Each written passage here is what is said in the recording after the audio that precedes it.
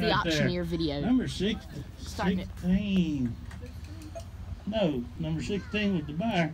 Six dollars. Six dollars what he paid. All right. Hey, look, let's sell you marbles right here.